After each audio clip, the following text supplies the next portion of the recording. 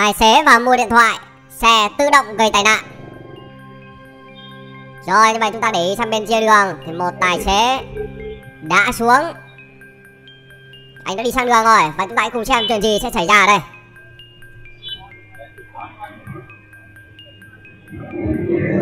Rồi, các bạn như là tài xế là vào là xem là mua mua điện thoại gì đây.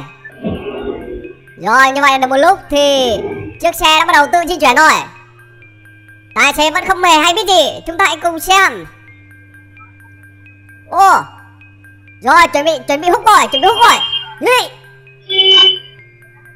Ồ Rồi, xe đang trôi khá nhanh. Vâng. Chưa chưa chưa hút vào. Ui rồi bung bung mấy rồi. Một cái ô bị quẹt qua. Nào, hút vào đâu đây? Đi.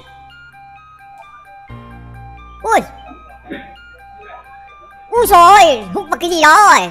U u dạ ui ui u sổ u rồi dừng chơi dừng chơi u dừng dừng dừng dừng dừng rồi dừng rồi dừng rồi dừng rồi à đây tài xế giờ mới biết ui u thế nào xe để đây mà lại trôi xuống tận dưới kia rồi đấy biết lên xe kiểu gì thắng nhất là không kéo lên nên là nó tự trôi và đã di chuyển đến cả khoảng độ gần 200 mét nhưng mà rất may là không có thiệt hại về người chỉ có một số tài sản bị hư hại thôi đây là một bài học nhớ đời cho không chỉ riêng lái xe mà tất cả những bạn đang có những, có ý định mua xe nha các bạn nhớ phải kéo phanh tay khi chúng ta xuống xe.